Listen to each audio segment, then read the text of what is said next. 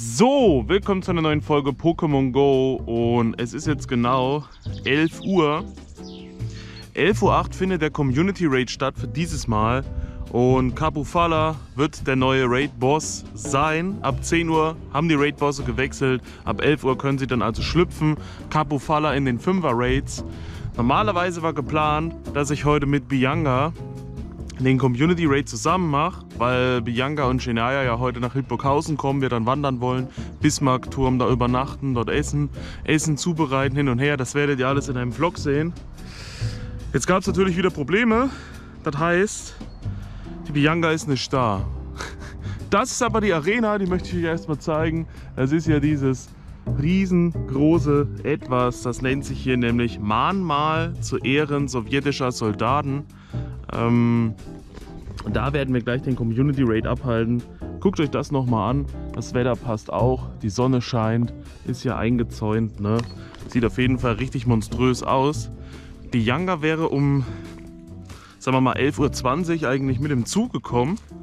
Deswegen hätte ich gedacht, ich hole sie vom Zug ab. Wir gehen vom Zug direkt zu einem Raid, der dann gerade da irgendwo ist, in der Nähe vielleicht. Jetzt ist der Zug explodiert. Das heißt, es dauert, bis sie kommt. Sie weiß gar nicht, wie, wo, was. Shania kommt so 14 Uhr rum. Kann sein, dass Shania vielleicht sogar eher da ist als sie oder dass ich sie da, dass ich Bianca dann abholen muss irgendwo. Alter, guck dir den fetten Baum an, der hier einfach dazwischen rumrennt. Wir suchen uns mal hier vorne die Bank. Deswegen müssen wir den Community Raid jetzt alleine machen. Dafür nehme ich halt den allerersten, der jetzt aufgegangen ist und das ist der hier oben, 11.08 Uhr. Den werden wir uns jetzt zur Genüge tun. Ihr seht, die Stimmung ist, die Stimmung ist schon wieder, ne, weil einfach alles nicht so klappt, wie es eigentlich klappen sollte. Aber egal, das Wetter passt. Das heißt, wenn die dann da sind, ist auf jeden Fall alles nochmal eine ganz andere Sache. Mal gucken, ob ich mir vielleicht noch mal ein Bart abrasiere, dass ich gepflegter aussehe, wenn wir dann losgehen für das Video für die Ewigkeit. Wir werden jetzt die Leute adden, die wir dafür brauchen. Ich habe wieder im Community-Tab einen Post gemacht und dann schauen wir mal, ob wir vielleicht ein gutes bekommen, vielleicht sogar ein 100er. Und wenn nicht, werde ich noch einen Glückstausch machen am Ende des Videos mit dem neuen Raid-Boss, so wie wir das bei Demeteros Regiram gemacht haben. Da hat es ja geklappt, dass das direkt im ersten Trade 100er wurde. Schauen wir mal an, was der heute macht. Ansonsten, ja, kann man es, glaube ich, gemütlich angehen lassen. Machen wir ja auch. So, ich hänge mich mal kurz so hin, damit ich euch das zeigen kann. Das ist also die Arena hier. Jetzt kann ich es euch auch im Spiel zeigen. Daneben ist ein Stop. Der Stop glüht. Da ist ein Lokmodul an von Bierlolly. Ich habe keine Ahnung, wer Bierlolly ist. Seid ihr Bierlolly? Schreibt es mal in die Kommentare. Hier Mahnmal zu Ehren sowjetischer Soldaten. Da geht der Fünfer auf in äh, mittlerweile drei Minuten. Das heißt, ich muss euch noch kurz zeigen, wen wir einladen.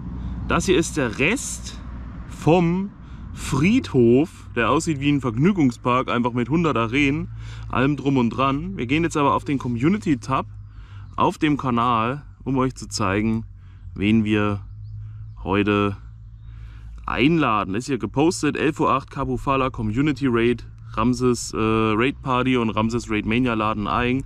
Wir sortieren natürlich wieder nach Neueste zuerst, gehen nach unten, haben 10 Accounts, nämlich Blood and Tears, Nevais, Kulidita, Henry Nicky, Trainer Sir Ups, das sind die ersten 5 auf dem einen Account und auf dem anderen werden eingeladen Mako, Timotte, Kurvidiva, Carsten und Mazzofix. Das sind alle 10, die wir mitnehmen. Es hat sich auch keiner weiter eingetragen. Das geht also perfekt auf. Und hier habt ihr natürlich im Community-Tab auch noch eine Liste, wo ihr sehen könnt, welche Pokémon effektiv sind, wie die WP-Werte sind, was der für einen Typ überhaupt hat, was es sonst noch Wissenswertes gibt. Ich werde, denke ich mal, mit einer Metacross-Armee kämpfen. Ich werde jetzt nicht extra eine Mega-Entwicklung machen. Für die Raid Mania morgen wäre das was anderes. Da mega Gänger rein als erstes und immer draufkloppen vielleicht. Ansonsten Meter Cross mit Stahlattacken dürfte da regeln. Ähm, 1996 ist der 100er Wert, beziehungsweise 2496 mit Wetterboost. Kann man sich eigentlich leicht merken. 2000 und 2500. Möglichst da muss er rankommen. Jetzt wartet man natürlich, bis der aufgeht. Es sind noch 1 Minute 13. Dann schauen wir mal, ob es alle reinschaffen und wer den besten hat. So, ich muss leider jetzt hier bei dieser Bank bleiben, aber mit dem Hintergrund sieht das vielleicht ganz chillig aus. Hier ist halt heftig die Sonne, da muss ich meinen Eierkopf davor pressen. Wir gucken noch mal ganz kurz. Ich habe hier ein Device, Kolidita-Blatt in Tiers, Henry Niki, einer fehlt. Das dürfte der Trainer Sir Up sein, der hat nicht angenommen. Den habe ich schon geedit, bevor ich überhaupt hierher gekommen bin. Auf dem anderen Timode, Carsten, Covidiva, Mako fehlt auch einer. Ich habe also nur acht Leute zum Einladen, obwohl ich zehn geedit habe. Aber egal, wir gehen jetzt auf den Raid. Wir müssen den auch wieder privat machen, damit keine Fremden reinhuschen. Drücken jetzt erstmal hier drauf, das seht ihr jetzt gerade noch nicht. Gruppe erstellen. Smet, Rad, Vogel. Laden jetzt ein. Nevais, Kuli, Blood in Tiers, Henry. Oh, jetzt steht Trainer Abs mit drin, hat jetzt in dem Moment angenommen. Timotte, Carsten, Kurvi, Mako. Aber hier fehlt einer. Hier gehe ich jetzt auch rein, privat. Mit Smetrat Vogel. Schmeißen wir da drauf. Also 1996 und 24 auch irgendwas um die 90, sind eigentlich leichte Werte. Ich bin mit Ramses Raid Mania nämlich Glücksfreund. Das heißt, wenn ich ihn fange und Ramses Raid Mania ihn fängt, können wir direkt nach dem Raid einen Lucky Trade machen. In der Hoffnung, dass im Video live das 100% kommt. Das wäre auf jeden Fall richtig stark. Hier habe ich eine Armee, hier habe ich Giratina drin. Giratina, Mewtwo, Heatran, Metacross, Heatran, hier habe ich Despota, Giratina, Heatran, Heatran, Heatran.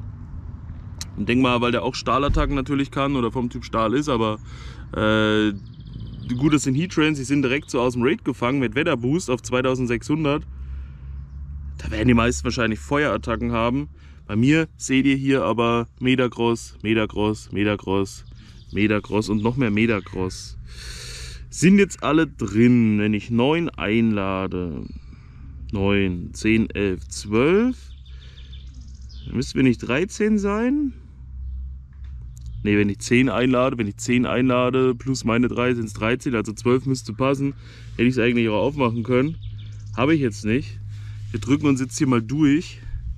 Ohne Team auswählen, ohne alles. Also ihr seht, die empfohlenen Teams klappen meistens eigentlich auch sehr gut. Auf den kleinen Accounts sieht es halt ein bisschen komisch aus, aber da habe ich ehrlich gesagt auch nicht wirklich was anderes. Da habe ich den Tarnel C-Day nicht gezockt. Ich habe ich hab nichts großartig gepusht. Also wenn das jetzt hier Heatran rein wählt, bin ich natürlich selber schuld.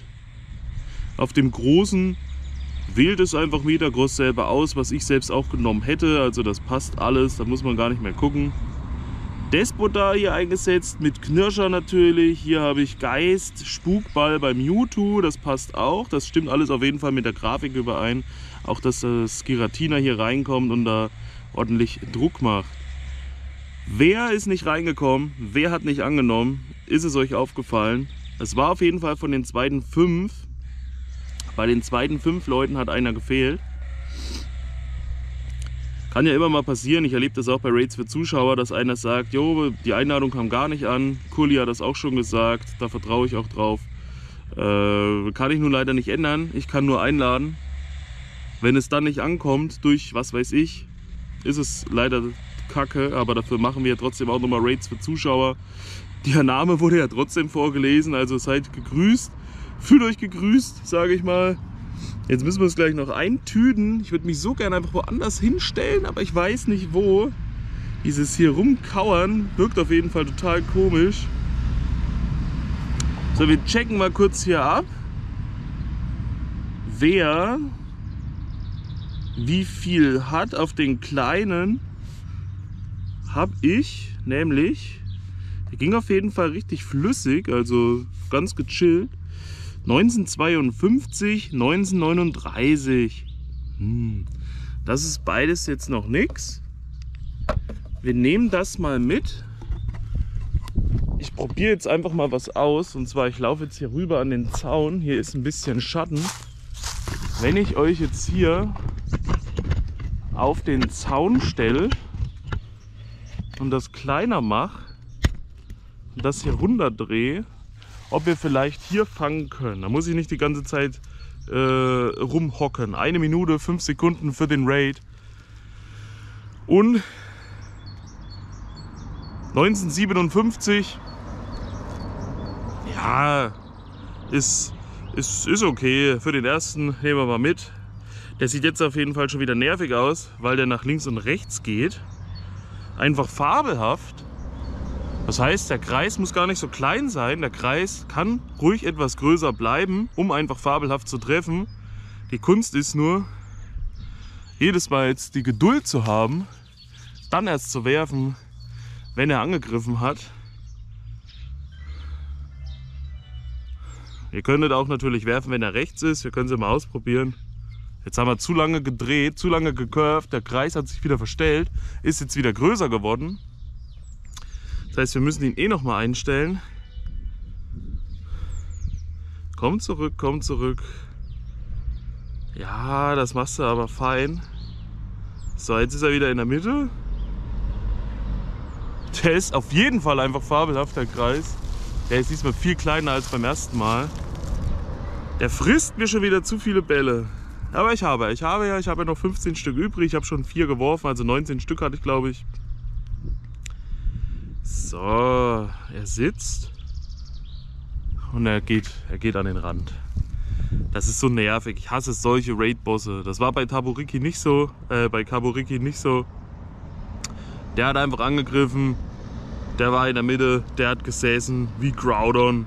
Das Ding erinnert mich ein bisschen an Griselia. Vielleicht liegt das einfach am Typ W, dass die immer nach links und rechts gehen, weil die unentschlossen sind, anstatt einfach in der Mitte zu bleiben. Ja. er greift nicht an.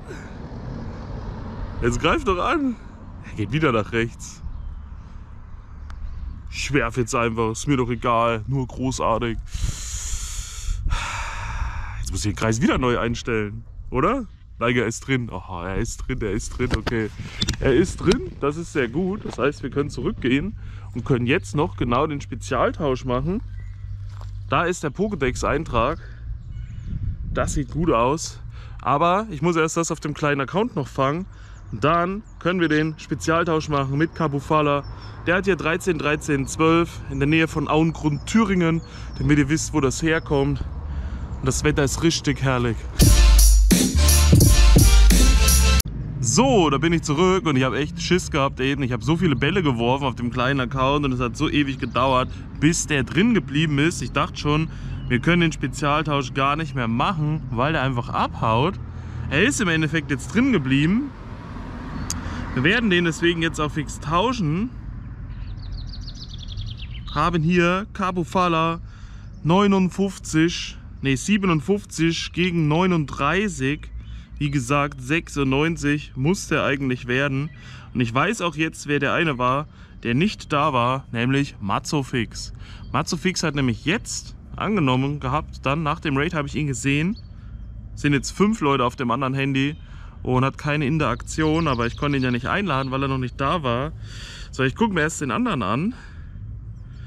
1953 ist der Kleine jetzt geworden, also von, von was klein auf was Besseres. Und hier haben wir, ja toll, 1958. Das heißt, er ist genau um 1 WP gestiegen. Von 57 auf 58 ist jetzt also besser und hat genau trotzdem die gleichen Werte. Vorhin 13, 13, 12, jetzt hat er 13, 12, 13. Hat sich also nicht wirklich was getan.